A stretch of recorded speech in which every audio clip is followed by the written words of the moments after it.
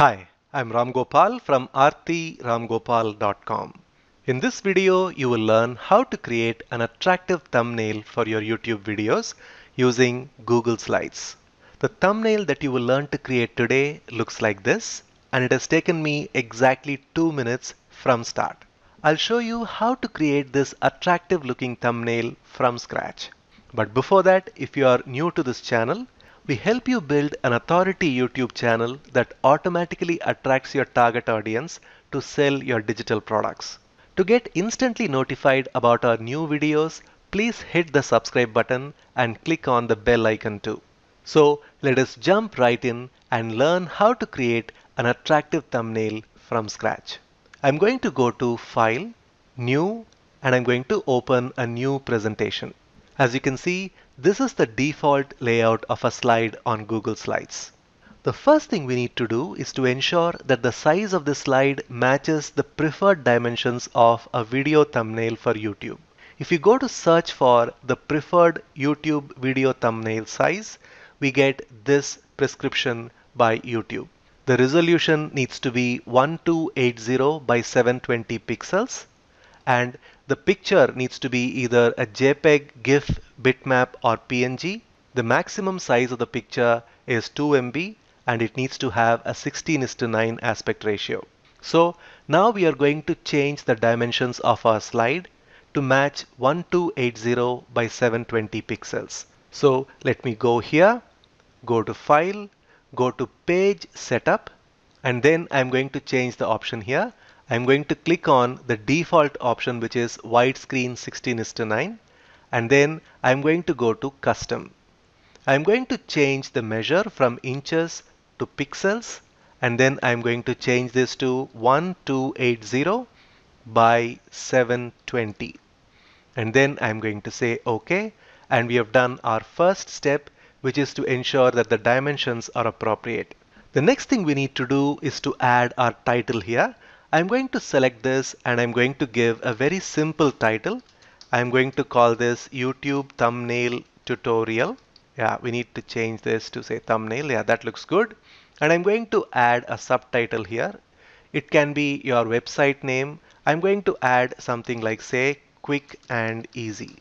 Now we have got our title in place. The next thing I'm going to do is to choose a theme. You can choose the theme from the options available here. In case you're not able to see the pane here, you can always click on the theme option and that will open up this pane. Let us choose a different theme. The one that I prefer is this one. You can see that as soon as I click on that option, you instantly have a variation in the look and feel of your slide. I'm going to make a few adjustments in terms of how the various elements are placed here. I'm going to move the title and the subtitle to the right so that I can have some space for me to include my picture here. I can select the box. I can move it to the right so that it's on one side. I can even move this to the right so that it touches the right edge of the slide. And I can make some changes to the size and the type of fonts I use.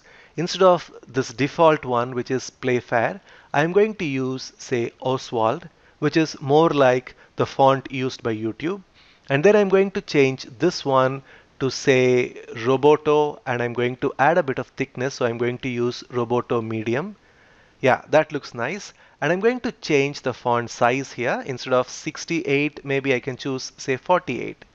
And if I want to make some adjustments to the background, I can do so by extending the white background like so.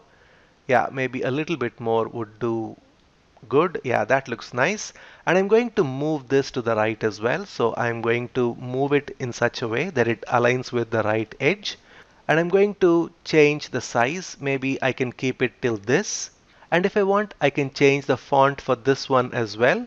Let me go here and use a handwritten font like Pacifico. Yeah that looks good. Maybe I can increase the size to say around 36 it looks like this one already has bold formatting, so I'm going to click on that one so that it looks more readable. Now we have got our titles in place. Then the next thing I'm going to do is to insert an image. When it comes to creating thumbnails, there are two types of images that you would use. If you're going to have a talking head video, then a picture of yourself would be appropriate. On the other hand, if you want to teach a tutorial, then it is a good idea to show the end result of the tutorial right on your thumbnail like this one. As you can see here, this is a PowerPoint graphics tutorial and the end result of the tutorial is this and this automatically develops curiosity in the audience's mind and they would want to learn how to create this graphic and they would click on the thumbnail. So in this video I'm going to show you how to design a thumbnail that looks like this which has a photo of yourself. Let me go to this presentation and let me insert an image of myself. So let us go to insert image and I'm going to choose the first option called upload from computer I've already got quite a few pictures of myself stored on my computer. I'm going to pick up one of those, like say this one, and I'm going to say open. As you can see, the size is not really that big. We need to make a few adjustments. I'm going to crop all the unnecessary areas here. So let me go here, click on the crop image option, and I'm going to crop from right, from left, and from top. And then I'm going to change the size. I'm going to hold the shift button down as I click and drag this from the sides like from the corner like this one and we have got an image of myself here right on the thumbnail. If you want the image to bleed into this side you can even crop this a bit further maybe I can click on this and I can crop it from the bottom like so and then I can resize the image by clicking and dragging from the corner while holding the shift button down and this looks a little more organic because this image extends beyond this boundary. Now we are pretty much done with creating our thumbnails. As you can see it has not taken us any time at all. We started with a blank slide, we changed our title and subtitle, we chose a theme, we inserted an image and we made a few adjustments to the fonts and the positioning of the text elements and our thumbnail got ready in no time. But before we close, if you are not happy with the bright colors that are seen here and you want to change them, you can do so quite easily. You need to go to View, go to Master, and then choose this one, which is the layout that we are working on, and go to Background. And you can change the color of the background. Maybe if you want something subtler, like say this background, you can use and you can say Done. And Instead of this blue color, if you want a darker hue of the same color, you can do so as well. You select this, go to the fill color option, and let me choose something like this one, which is dark yellow 3. Yeah, that looks nice. And then when I close this, you can see that my thumbnail looks really attractive.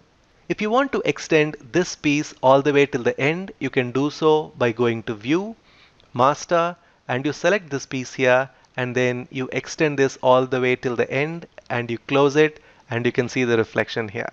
Can you see that you have total control in the way your thumbnail looks and feels? Now all you need to do to download this as a picture is to go to File, go to Download As and choose PNG image and instantly this slide gets downloaded as a PNG image and when I go to show in folder you can see that this is the image that we have just created.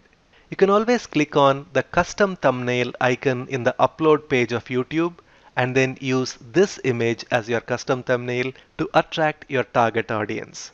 I hope you found this tutorial useful. If you did, please hit the like button and share it with your friends.